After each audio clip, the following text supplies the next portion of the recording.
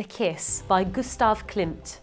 The Kiss was painted between 1907 and 1908 and was first displayed in Vienna in 1908.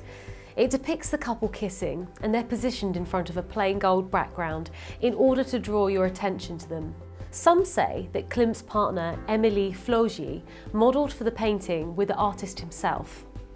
Despite being criticised for some of his work, which was judged as too intimate, the kiss was well received and the Austrian government bought it before the artist even had the chance to finish it.